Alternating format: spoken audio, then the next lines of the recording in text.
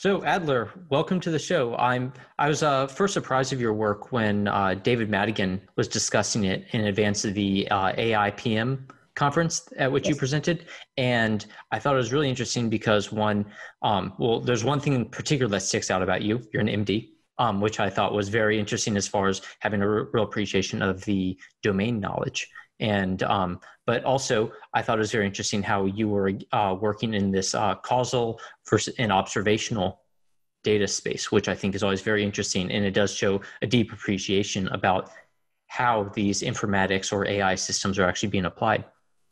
So I guess maybe. Uh, well, I wasn't going to ask you just to introduce your research, but maybe just we should just hop into and say, you know, uh, when you talk about your uh, the observational aspects of the data that you're uh, analyzing, why is it important to specify that you are working on observational data? Um, I think that it's important because you know there are problems that only arise in the context of working with observational data, um, and also there are certain things that you might want to study that are not amenable to experiment. Um, and for various reasons. It can be potentially too exper- too expensive to experiment with, or unethical to experiment with. Um, and uh, you know, we have a wealth of observational data, and so you know, we think that it's valuable to experiment with to uh, to do research with observational data. Um, uh, in the absence of experimental data and all the questions that we might be interested in asking. And so it's important to specify that it's observational because we don't have the ability to manipulate things in the process of the data collection. And so the data that we have is the data that we have. We had no part in the creation of that data um, in, in any meaningful way. Yeah. So, um, so I, I, think I think it's interesting. You've actually we're already sort of have this like bifurcated explanation where the first one, the more obvious one, the one that I sort of always glom on, is that essentially we want to make use of this observational data because it is vast, it's more readily available. We can't always be experimenting on things, and therefore we need to have methods that account for the data generative process. That this is not experimental data. Um, right. And I guess the other bit though that maybe we could just hit on that for a second, which is. Um, we don't always want to have some data is, for example, unethical to have from an experimental perspective. Could you tell us a little bit more about that? Uh, because I think that might be a little bit of an under discussed topic for observational data analysis. Yeah, certainly. So, um, I mean, you pick your favorite uh, your favorite topic where you you know you couldn't imagine an institutional review review board approving uh, you know a given intervention and you have your example. Let's say, for example, you were trying to study the effects of illicit drug use on a given outcome. You certainly could not design an experiment, uh, you know, administering illegal drugs to individuals, but you know, we do have lots of observational data of individuals that that are users of, of illicit drugs, and so um, that's just one example. But there are many, many examples of things that are unethical to do um, you know, and there are more mundane examples. For example, um, it would be unethical to deliver uh, deliver deliver care that um, would be considered substandard. Um, and so, if your experimental design is one that delivers substandard care in one arm versus standard care in another arm, that would be unethical. But natural variation in clinical care is such that some patients really some patients receive care that some some would consider substandard, but maybe appropriate in that circumstance, and uh, and vice versa. And so there are certain things that are uh, more subtle than sort of the obvious examples like illicit drug use, but um, but there are many things that are difficult to conduct experiments around that we have observational data for that is, makes it uh, possible to study them. Cool. And uh, now, I guess hopping back onto the more common example, you know, can you talk a little bit more about what is it that makes observational data different from experimental data? Why why should people care about this and really take that into account? Um, well, I think that uh, it comes down to really two factors, or you know, at least two factors. In experiments, you can manipulate things, and you can also choose what to measure. Um, and so those two things are are quite important. Um, in uh, in answering a specific scientific question um, and ensuring that there's internal validity in answering that scientific question. Um, and so, you know, manipulation, uh, in particular randomization, is you know, the most most frequent manipulation, um, can provide certain statistical guarantees. But in observational data, you don't have either of these options really. You can't randomize. Um, you have to sort of make do with what you have.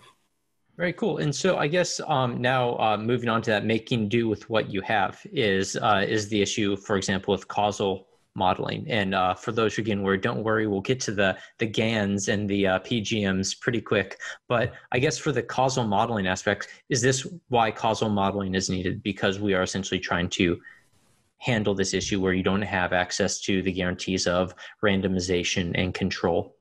Right. Um, definitely that causal modeling is necessary because primarily because of the issue of confounding, really. Uh, you know, uh, if you want to understand uh, the effect of one thing on another thing, you need to isolate that effect, and it can be quite difficult uh, in in the context of observational data where there are third variables that influence both. And I guess just as a uh, word of warning, what is the issue? So, for example, let's just pretend like we don't actually, well, let's pretend that we haven't heard from Adler on this issue or David Madigan or Patrick Ryan or any of those folks on this issue. Um, and you just say, oh, you know, observational data, it's good as good, good as anything. Um, I'm just going to analyze as it is and start telling the world what I know. Um, the if someone pursues that approach, what is what is the problem? Where where do problems actually start cropping up? Well, um, you want to make sure that you know the claims that you're making, the inferences that you're drawing from the data, are as close to the truth as possible. Um, and when individuals start acting on knowledge that has been generated from research, there's potential for harm. And so you uh, you want to avoid that at all costs. You know, um, in medicine, we're trained to do no harm first, uh, and in research, it's the same. You know, we want to um, provide evidence to guide practice in such a way that we won't be inadvertently, you know, increasing risk of you know significant adverse events because we didn't uh, take into account significant confounders in our research. Cool. And I guess uh, this actually brought up another sort of strange question for me, which was that um, let's say uh, you do have experimental data. Um, so we, we basically said that if we have observational data, it pretty much implies that you need to be using some type of causal methods or, or some other way to address the fact that there is, you know, this um, irreducible confounding issue, that there is non-randomization, that there's probably severe biases in the data generative process. Um, let's say you're actually handed a nice experimental data set. Um, does causal modeling, does that sort of inference perspective still matter in that regard? Um, I think that it could matter, certainly. Um, it could matter, certainly, but uh, but it depends on what you're doing with the experimental data. Uh, it depends on uh, um, whether you're taking advantage of the manipulations that were in place for the experiment or not. Um, you know, I think that there are really limited uses of causal methods uh, that are designed for observational data when thinking about randomized experiments. Um, primarily because these methods are designed for um, you know, limiting the impact of various types of confounding, um, and those things can be directly controlled in experiments. Um, and so, if you're aiming to answer a question, a causal question about individuals that are in one arm of the study, and you cannot take advantage of the randomization that was in place uh, to you know, to construct the two arms or and arms of the study, then you may need to rely on uh, on causal methods to address potential confounding. Uh, but as long as you're taking advantage of the manipulations that were in place for the construction of that non-observational data, then I think you know the uh, there you know you're best off relying on those manipulations for ensuring um, in, ensuring uh, that confounding is limited.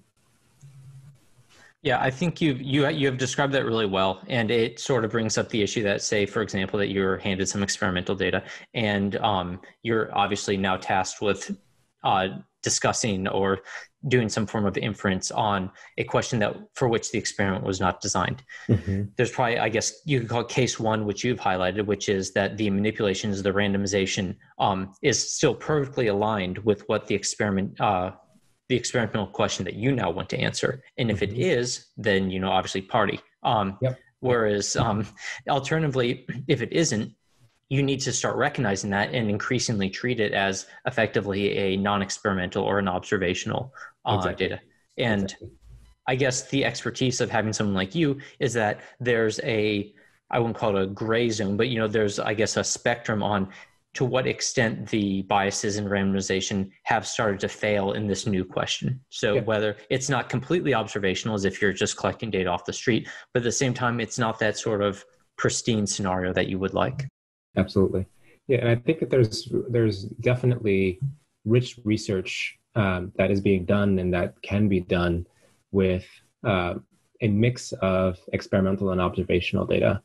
Um, you know if you know that you have randomization you can uh, you can leverage that in other ways as well um, but uh, but i think that uh, you know to answer your question you know uh, experimental data is you know has these benefits you can you should leverage them if possible if you can't and you're does, and you're trying to answer a very different question then you may you may again need to rely on on these causal modeling approaches Cool. And uh, so now, just for the super eager people, one last question before we jump into the uh, the GANs and the PGMs. But um, uh, you know, we, have talked a bit about like you know adjustments. Uh, we've said you know leveraging the in some way or another. Um, what are the ways, just broadly speaking, that you are adjusting this data? Is it from a like a selection process?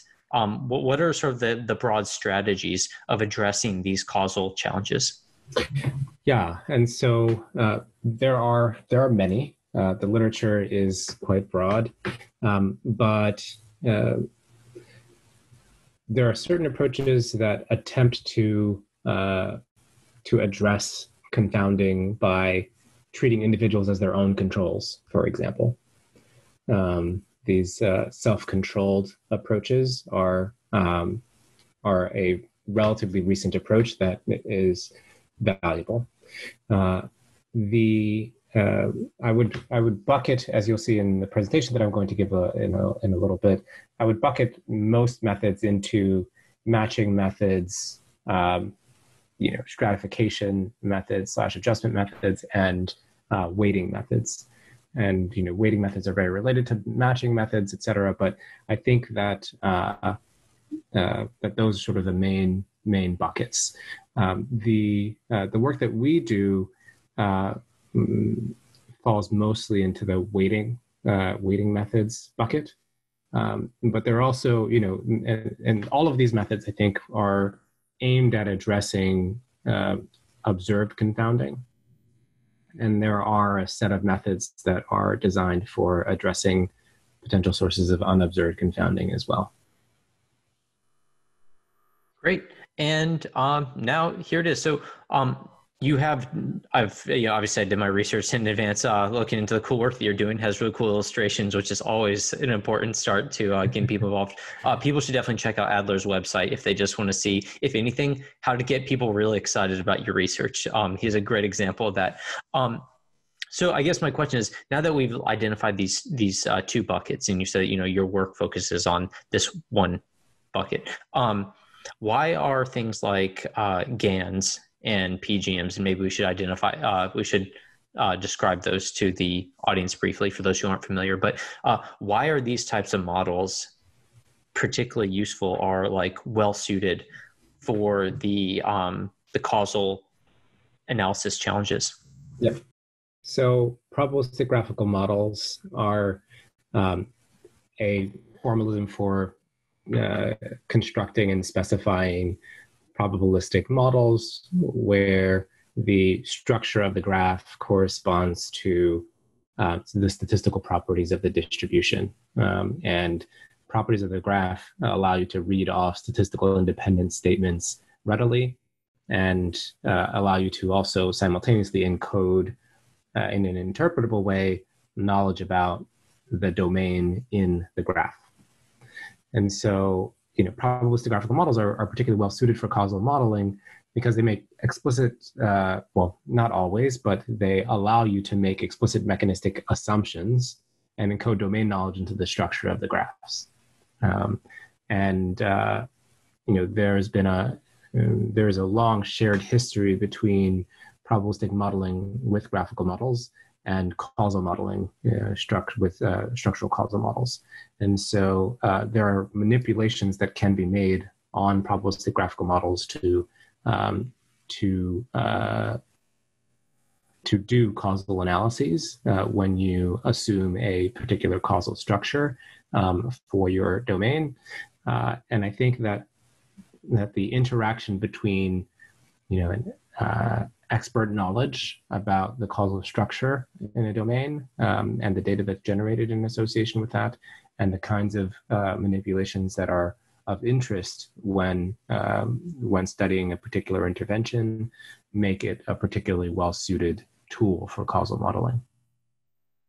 We uh, we don't actually take that approach primarily um, when in doing causal modeling uh, ourselves in, in our research, um, primarily because we're focused in, we're focused on the case where we don't really know um, the structure of the mechanistic relationships in the in the data, and uh, trying to see whether we can still study um, you know the uh, causal questions of interest in that context. Out of cur- yeah, out of curiosity, um, when you're talking about this, um, uh, first of all, I will double down that what, what how, how you described PGMs, I think, is a very important way and highlights many of the attractive reasons. So, especially for like early career data scientists um, or people interested in like machine learning, uh, PGMs are a very fundamental way to start better understanding the probabilistic nature and the, uh, I guess, the independent structures in different models. Um, so, I think that that's very interesting and is a very good way to better, more fully grasp the implications of your statistical or probabilistic models by mapping these things out this way. Um, but I, that the last thing that you brought up is something that I sort of wanted to bring up when we're talking about um, the mes- a mechanistic understanding of your data and how you said that you you shy away from these PGMs because is the idea that if the model is misspecified, a PGM will have will struggle struggle more greatly, um, and there will be more problems with the model due to model misspecification um, in the in the sort of the correlational relationships? Certainly, if you have the wrong causal model, um, that can certainly lead to problems in inference. Um, the uh, however, in our case, we're thinking we're thinking more in the context of where you just have so many variables that constructing a causal graph from all of these variables is um, is a you know, is a giant task um, and we want to be able to leverage the data that we have, the data that we can collect about individuals in the context of you know all of their interactions with the healthcare system, and uh, in that context, it's quite difficult to construct causal graphs for every use case of interest that takes into account all the variables that might be influential. So then, what say do you use as an alternative to these PGMs and these causal graphs? Right.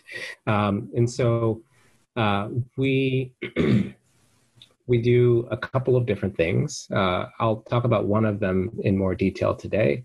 Uh, but one of the things that we do is we specify um, a different type of probabilistic graphical model that doesn't sort of specify the domain structure, but makes sort of just one simple causal assumption uh, eh, you know that work is not published yet, but we're but we're working on um, developing models that embody the notion of causal independence. This is sort of a very old notion that dates back to the very early days of, of um, the development of probabilistic graphical models.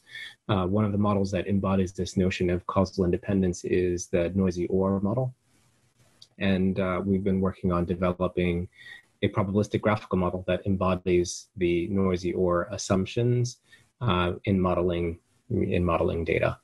Uh, and so I, won't talk about that too much, but that's sort of one thing we're doing. Another thing that we're doing is we're uh, we're uh, trying to understand um, the contexts in which you can um, perform causal inference in the context of unobserved confounding. Um, in particular, leveraging the uh, leveraging the uh, the fact that you that there may be multiple causal questions of interest, um, and you may know something about some of those uh, causal questions, and leveraging both the existence of those causal questions and the knowledge that you have about them to um, to learn something about some unobserved uh, confounding structure. And so that's a separate class of thing that we're interested in. And then lastly, um, we're interested in leveraging deep generative models. Um, and you know, one example of which are these generative adversarial networks um, to uh, to construct uh, essentially weights uh, for weighting methods in order to perform causal inference with observational data. And you know, you mentioned uh, that we should probably describe what these are in more detail. In um, in the um, in the uh, the talk that I prepared for a little bit later, I go into a little bit more detail on exactly what generative adversarial networks are and how they work. But uh, but very briefly, um, they're uh, they've been shown to model um, high dimensional data distributions very effectively without overfitting. They have some limitations, uh, which I'll discuss, um, but the, the main benefit is that they can model these very high dimensional data distributions uh, with what seems like limited overfitting. Uh, and as a result, they, they may be well suited to um, uh, identifying what I call natural experiments that exist in observational data. Well, that is very cool. Um, I suppose now is the time that we should hop over to your presentation. Okay, great. Uh, so let me share my screen. Cool. So today I'm going to be talking about adversarially learned balancing weights for causal inference uh, with a model known as the counterfactual Chi-GAN. Uh, this is work that was primarily done by a PhD student in my lab who was now um, who is now uh, at Regeneron uh, in their genetics center, Amelia Averitt, um, uh, and uh, and collaborators at, at NYU's Courant Institute.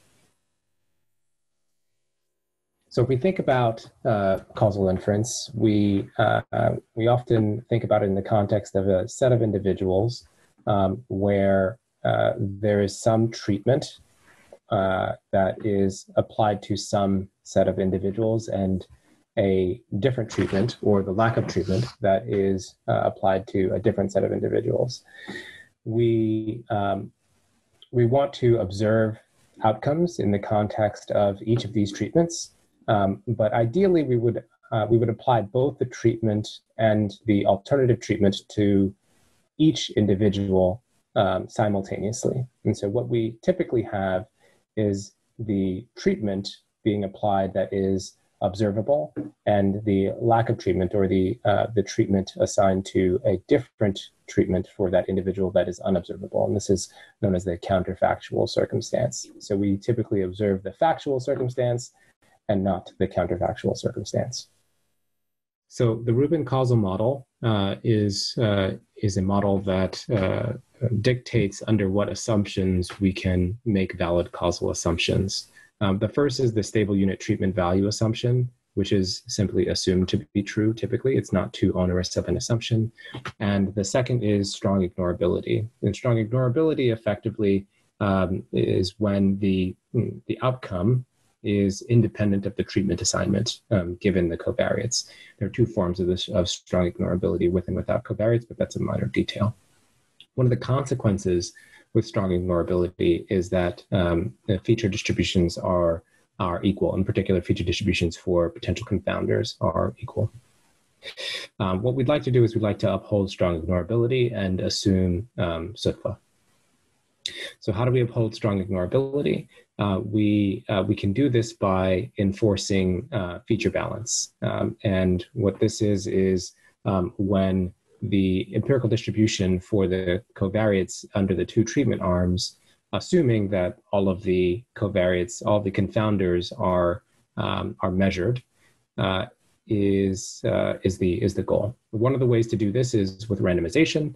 Um, we can uh, with randomization we ensure it to be the case that the outcome is independent of the treatment assignment, but we can also do this uh, with data manipulation only in the circumstance where um, where the uh, well potential confounders are observed.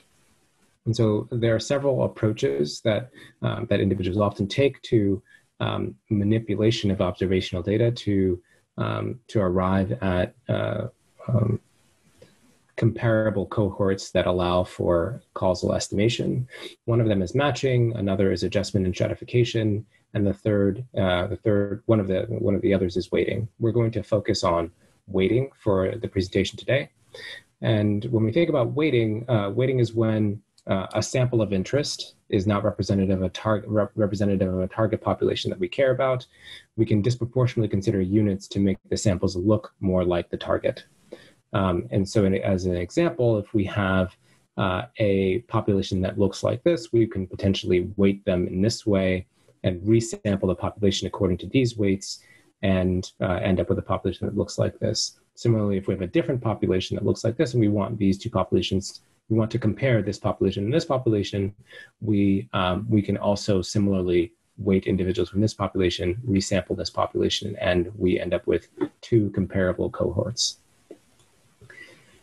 This idea of weighting individuals to construct comparable cohorts is very related to the idea of importance sampling. Importance sampling draws samples from a proposal distribution and reweights the distribution using importance weights so that the weighted distribution represents the target distribution.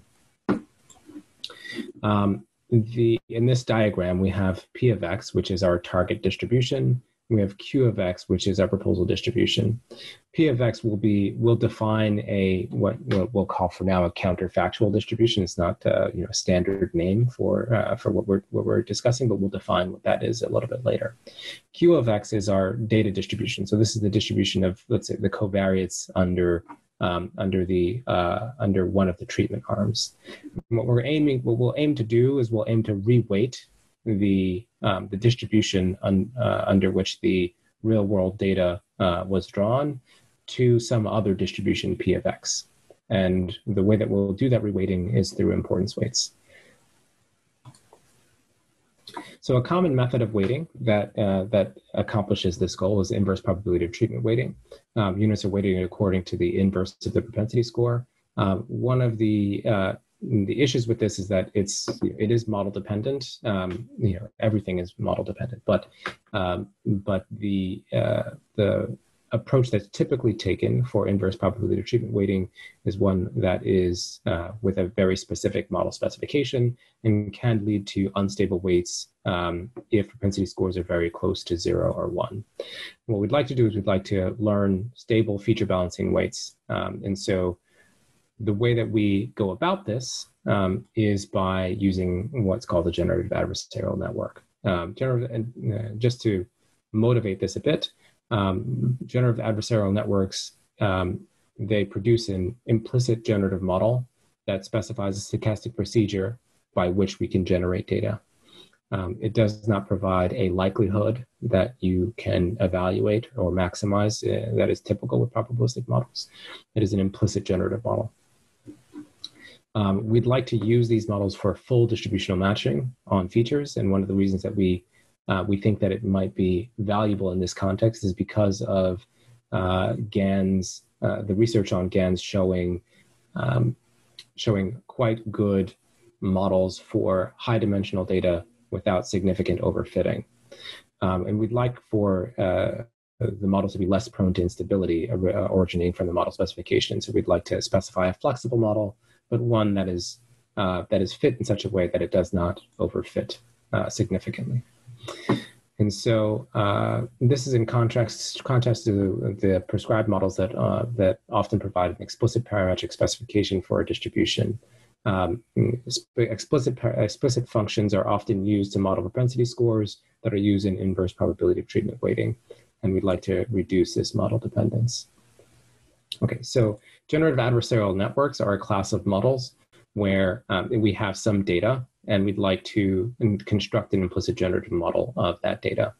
the way that we do that is we construct a generator G, um, and G takes as input um, samples from a random distribution, such as a multivariate normal, and uh, and um, and transforms those samples into a set of samples that uh, aim to resemble the data. We have a in this approach have a, a, a separate model D, a discriminator that aims to distinguish samples of data from samples from the generator. And so uh, the approach in this model is to um, is to have the generator produce forgeries of this data and the discriminator to distinguish uh, data from the forgeries.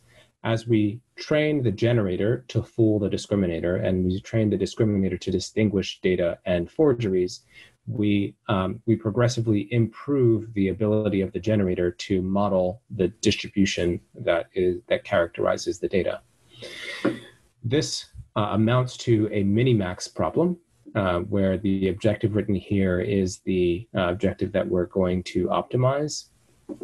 We're going to um, uh, improve the log probability of, um, of distinguishing real data from fake data um, by um, by contrasting the expected value of the log probability under the data distribution with the uh, with one log probability uh, of one minus the um, the the expected value of, of log of one minus the um, probability of the forgeries.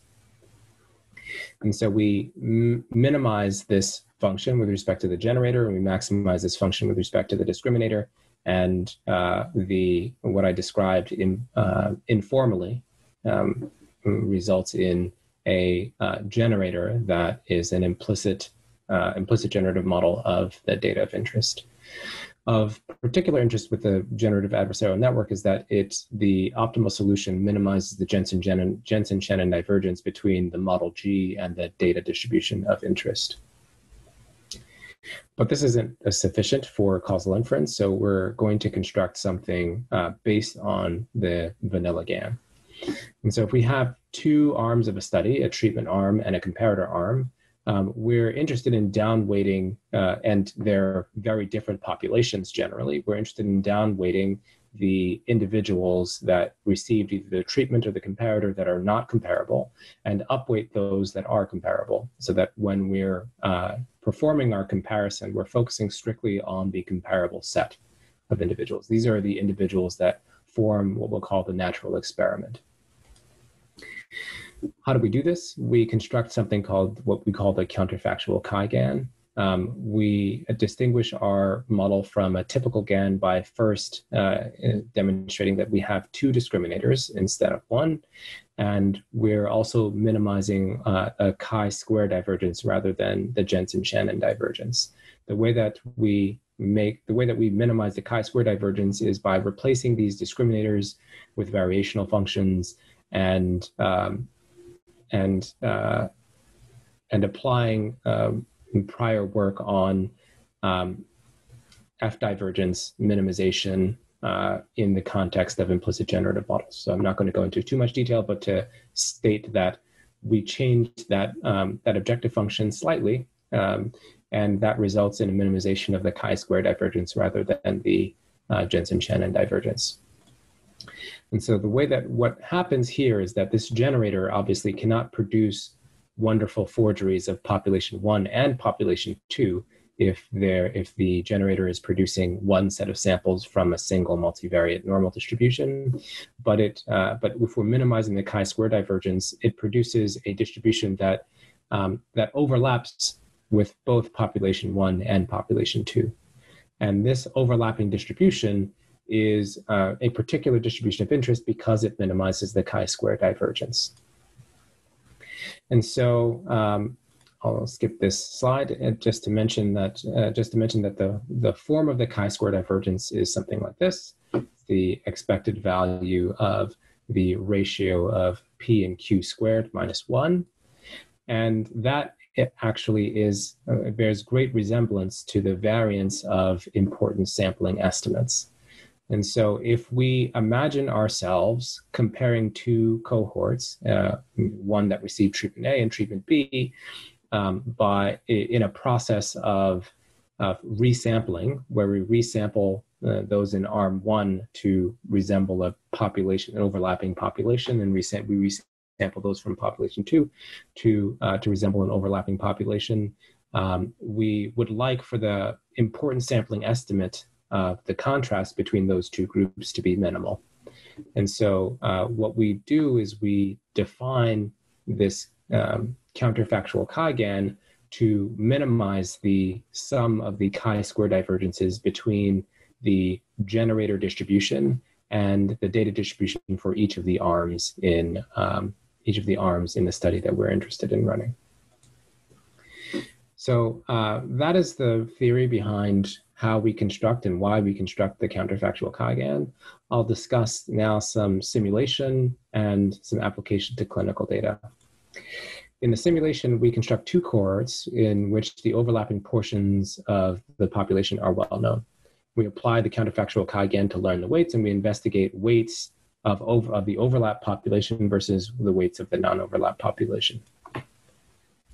To be more specific, we define a population, what we'll call population one, that is constructed of samples from uh, what we call subpopulation A and subpopulation B.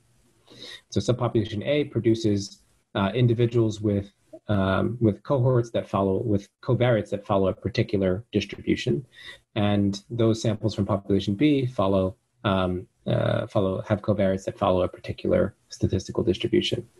Population two is constructed um, from individuals of subpopulation A, and so there are samples from subpopulation A in population two that overlap with uh, the covariates of population A from subpopulation from population one.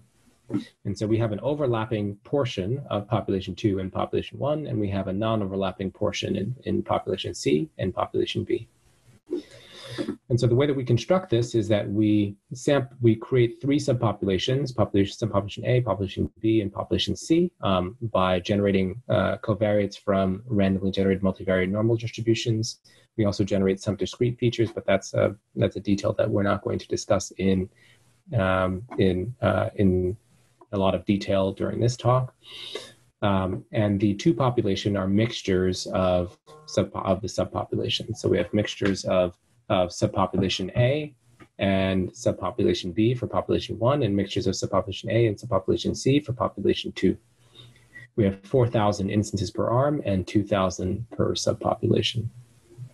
We also simulate an outcome. That outcome is based on the subpopulation, and so each subpopulation has its own outcome distribution. Um, and we uh, based on these distributions for the um, for the outcomes for each uh, subpopulation the average treatment effect for the mixture distribution that means if we're directly comparing population one and population two in sort of a naive way we would observe a treatment effect of 50 if we are comparing only those individuals that are comparable um, in this experiment, we have uh, an average treatment effect of 70. Okay, and so uh, what we did to evaluate this is we firstly visualized uh, the results of the simulated data. Uh, we uh, computed average treatment effects and we also computed effective sample sizes. We also, we in these experiments, we compared to a variety of existing methods, both uh, recent and not so recent, um, to evaluate uh, our approach to feature balance and um, and treatment effect estimation. Okay, and so if we look at the simulation results, firstly we can visualize what the what the situation looks like. If we look at two selected features out of the uh, 10 that uh, that characterize each uh, sample, um, we have population one uh, in a with a sub, with a multivariate normal um, with two subgroups um, here and here, and we have population two with two subgroups here and here. We have, uh, if we uh, look at the data from a different lens uh, and we focus on the subpopulation, subpopulation A is here, that is overlapping between the two groups. Subpopulation C is here, and subpopulation B is here. If we, uh, once we train, we've trained the counterfactual chi-GAN, what we observe is samples from the generator that look something like this.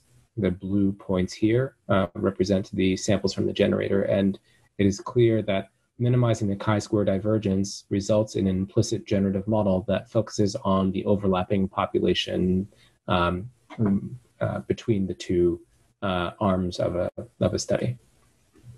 And if we um, take the weight estimates that result from the uh, application of the counterfactual chi-GAN and weight all of the samples by their uh, by their weights, we observe that um, the uh, samples from population one and population two that have uh, any significant weight uh, in computing treatment effect estimates are those from the overlapping group. And so here are a few, here's a, a, a um, an animation that demonstrates what the, um, uh, what the model looks like as it, um, as it proceeds uh, throughout, uh, throughout training. Uh, what we see here is a loop of the model um, model identifying the overlapping uh, overlapping groups within each population and increasing those weights while minimizing the weights of those subpopulations that are not um, not near uh, the overlapping um, section. Okay, and so if we look at now at the average treatment effect uh, um, that is estimated as a result of applying each of these models to that simulated data, we observe that the counterfactual chi-GAN produces an average treatment effect that is very close to the, the, uh, the treatment effect associated with the overlapping distribution. And we observe a, an unweighted treatment effect that is uh, very near what we expect for the naive uh, treatment effect estimate from uh, comparing population one and population two. And uh, we have treatment effect estimates for all of the other comparator methods that we evaluated. Um, and some are overestimates and some are underestimates, but um, many produce, there are a few that produce estimates that are very close to the um, the naive estimate of directly comparing population one and population two, but other approaches um, estimate uh, estimate quantities that are necessarily exactly the overlapping ATE, and so it, it may not be the case that they're necessarily wrong in that sense, um, but they are estimating something else. And what we're arguing in this work is that that the overlapping the ATE for the overlapping distributions are the only valid ATE to be estimated. Uh, and when, in applying the counterfactual chi-GAN, we maximize coverage, but also um, uh, focus our analysis on the subpopulation that is uh, directly comparable uh, for a causal analysis. When we look at the effective sample size, we see that the counterfactual chi-GAN uh, effective sample size is very near 4,000, which is the um, which is what we would expect in in comparing the two subpopulations. Um, and so each subpopulation has 2,000 points. And so if we're focusing only on the sub on the comparable subpopulation, we would expect the effective sample size to be near 4,000.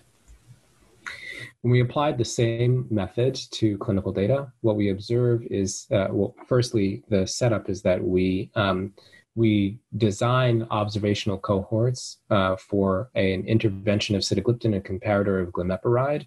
This is uh, following the um, the eligibility criteria associated with a published randomized clinical trial. And so we uh, we applied the eligibility criteria to restrict our analysis to a group uh, that is similar to that which was studied in the clinical trial, and we uh, evaluate the 37 most frequent measurements for um, for the intervention cohort and the comparator cohort to assess um, feature balance.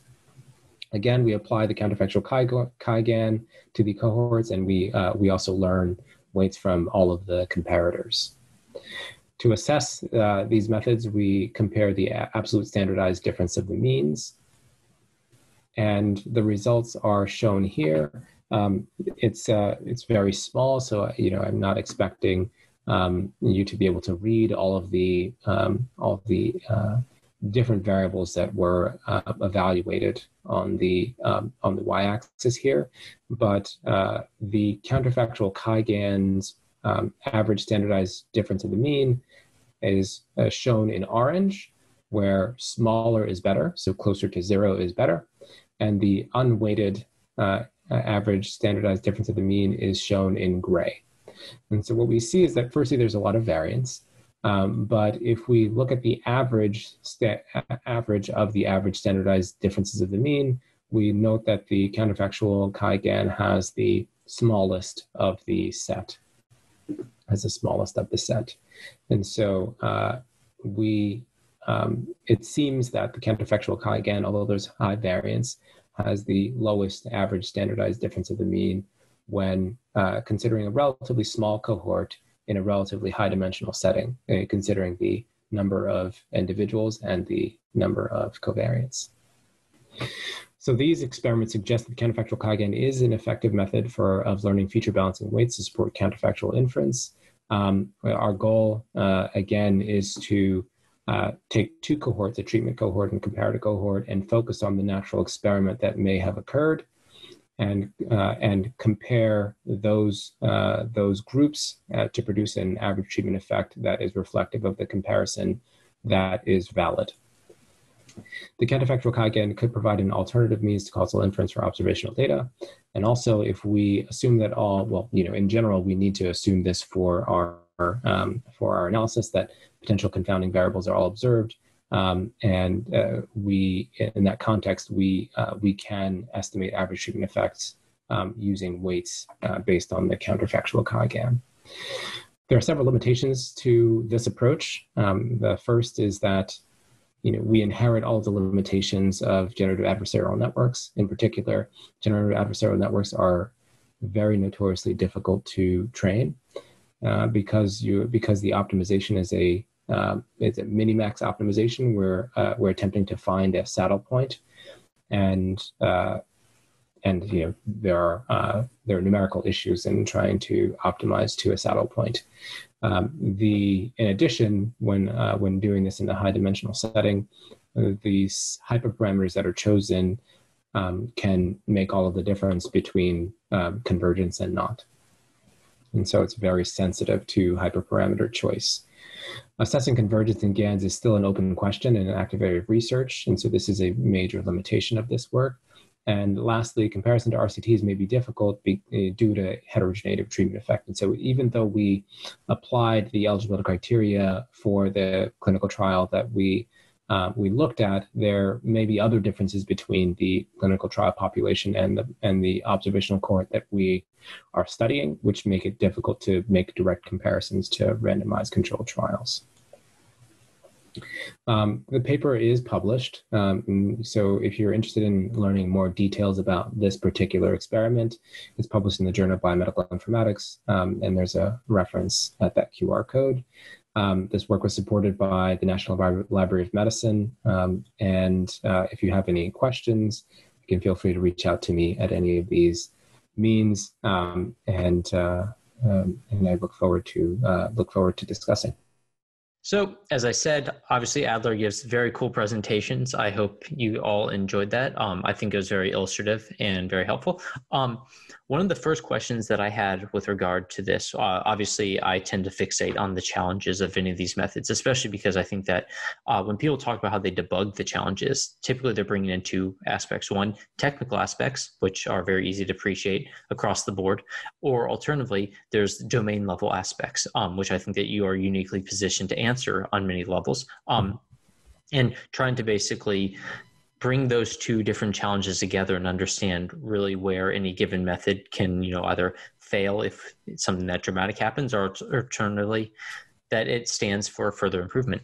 Um, and one of my questions was when you're sort of building these counterfactual models and looking at sort of, I guess, the intersection space of uh, these two different populations, what happens if these two different populations that you're trying to build don't actually have much intersection, or alternatively, that the most similar patients are fundamentally different on a large number of dimensions. Is that really much of a challenge for you? or yeah absolutely absolutely that is uh, certainly a challenge and, but i think that you know one of the reasons that we um, we focused on estimating uh, effective sample size in in our experiments is that you know that gives you a sense of you know what your true effective sample size is in in comparing these two interventions if your effective sample size is one and and you have cohorts of uh, you know many thousands, then you know that the comparison that you're trying to make is fundamentally flawed in some way.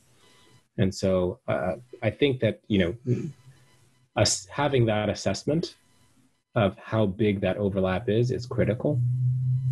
And many approaches already do this. This is not something new. And so, um, you know, in propensity score modeling, oftentimes there will be a sort of a visual analysis um, that compares preference scores or propensity score distributions um, to assess how much overlap there is between two cohorts and assess whether the comparison is one that's worth making.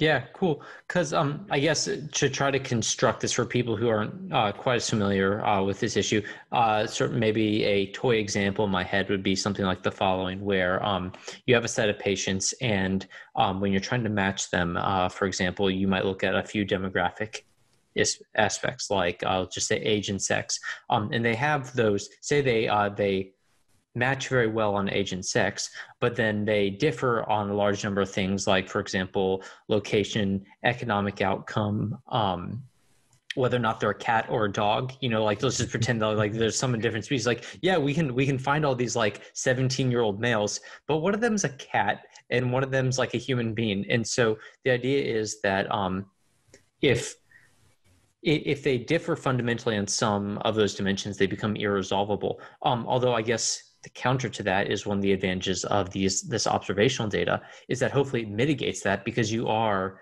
uh, really making the most of this huge amount of data. Where so whereas it might sink a clinical trial size data set, it might it would be less uh, less dangerous for an observational data set. Right.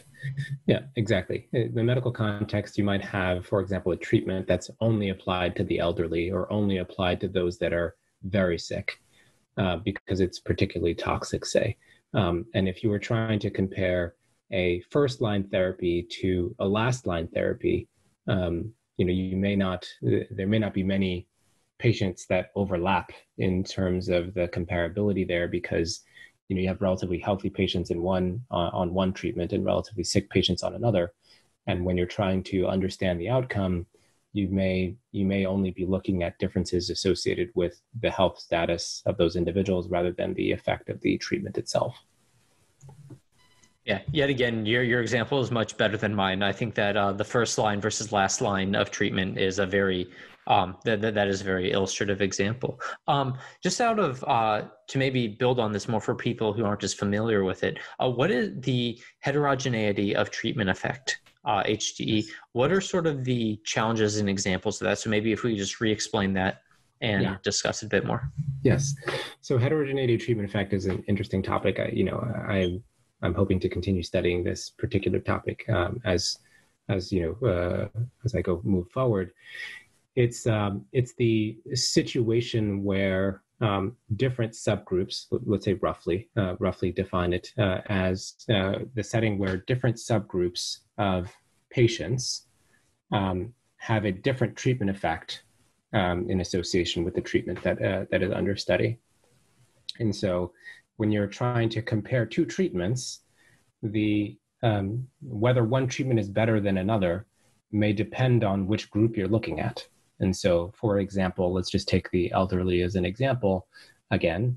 Um, you may, when comparing two treatments, it may be the case that treatment A is better than treatment B in the elderly, but much better than, uh, but uh, but treatment B is much better than treatment A in those that are, um, let's say, in their in their uh, midlife, uh, 30 to 60, and so uh, if your cohort includes both uh, anyone above the age of 30, you may conclude that treatment B is better than treatment A generally because it, it was better in that cohort overall by a small margin.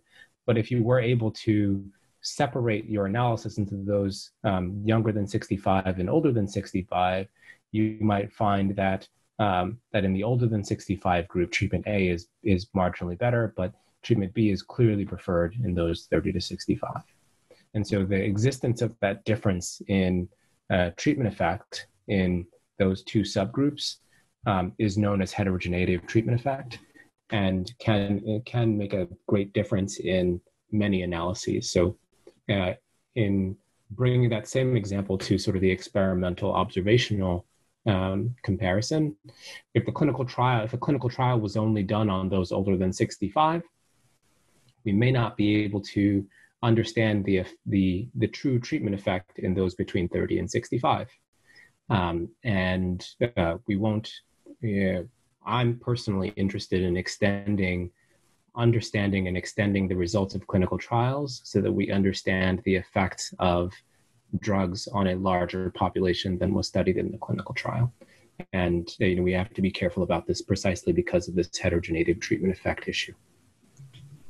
Yeah. Um, can we uh, put a quick pin in this expansion of clinical trial subjects? I'd like to come back to that um, because it's, it's really interesting. But uh, I guess just to provide sort of the counterexample of someone saying, well, I'm having these generative models. And the idea is if there are these sort of categorical differences in a patient's response, um, well, the advantage of having these generative models is that essentially we're upweighting and we're rebuilding these uh, populations, even if they're missing from the data itself. Um, is yeah. So is the, I, I guess that's that's the argument in favor of it but the alternative is, is like well can you populate those at all if you don't have sufficient data? So what what is the interplay between those ideas? And am i missing something? No i think that that's that's right on um, that's spot on. I think that the um, you know if you don't have the data to analyze a particular causal question then you just simply don't have the data to answer that that particular causal question and so i think focusing on the group that you can make causal claims about only makes sense because you want to make a valid claim, but you also understand you want to also want to understand who that claim is valid for. Um, the uh, and so I, I, just want to make sure I'm answering your question. Can you repeat uh, uh, briefly uh, what your question was? Oh yeah, I think I think you have answered it. Where uh, effectively, um, fundamental question in data science, healthcare, anything. Do you actually have the data that you need to answer your question? And boom, done. Uh, yeah, it's, it's just interesting because like obviously the if we want to be hyper conservative about it, the question is like, do we have the data to answer a question? Well, uh, have we run a clinical trial on it? Have we randomized it? Have we done like four phases of this clinical trial? Um, that's what we need. And then so I guess bringing this causal bit is in. It's like, well, we don't actually need that to get somewhere along the lines of having a better form of image. We might have this observational data. We have these techniques that are meant to sort of try to tease out the information that we can. We don't take the observational data at face value.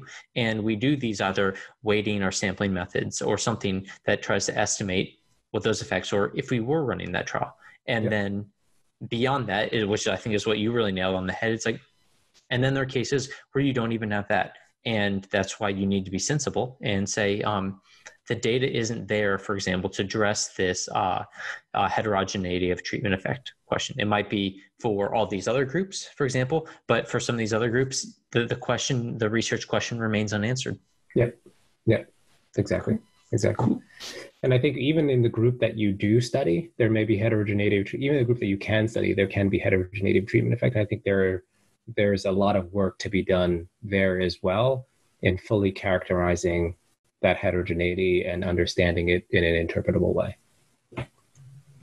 Yeah, I the, the the world, the clinical world is much more high dimensional than we typically like to think of. Um, and there are dimensions, and even things like if you take into account age, which seems like it's a single dimension. However, you know, you can say, well, this is a continuous variable. At the same time, there might effectively be categorical effects at mm-hmm. play, um, depending on what access to healthcare they have, the frailty of their body, things like that, uh, their willingness to seek out medical help, where you can even take a single, seemingly one dimensional variable, and clinically, there's several effective dimensions on top of that. Yeah. Cool. And now uh, to the question that you were talking about before um, expanding clinical trials. Um, just to sort of like paint the picture about how you do that is the idea that we first, that you're sort of trying to take this clinical trial data and you take the attributes of these patients and i guess for people who aren't as familiar you know clinical trial could be as small as you know a dozen or a hundred patients, or for these larger like phase four trials, you know, you could be having tens of thousands of patients. Where where is sort of your starting point for saying we're going to take these patients we've observed in the clinical trial and start trying to do some type of causal modeling for unobserved patients? Is that is that the path? Yeah. So the first thing that we'd like to do is um, is take the results of the clinical trial and ensure that we can uh, replicate some aspect of it. Um, we need to assume that there is some subpopulation within the observational data source that allows us to uh, replicate the results of a of a given trial. If we can if we can do that, then uh, then it raises the possibility that we might be able to extend the results of that clinical trial to unstudied populations studied using only the observational data. So if we understand, if we are able to eliminate confounding sufficiently to replicate a clinical trial, then we may be able to eliminate confounding similarly and extend the results to unstudied populations.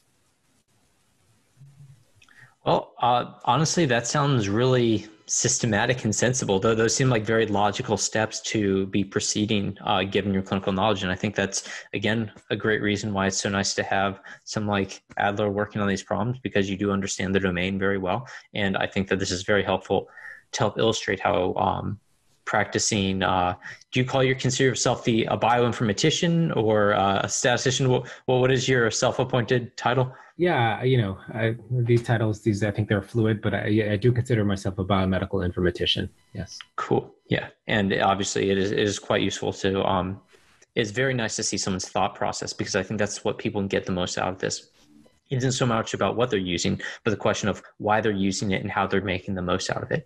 Um, so Adler, I really appreciate your time. You've given us a lot to think about, and you've given us a great example of how people should be approaching these problems, thinking scientifically and also thinking technically. Um, so, thank you so much for your time today. I appreciate it. Thank you. It was great to be here.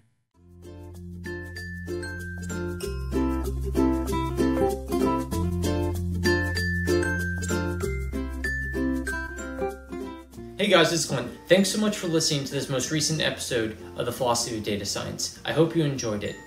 If you did, please consider leaving a like, a comment, and hitting that subscribe and bell button. We're a small channel and every bit helps.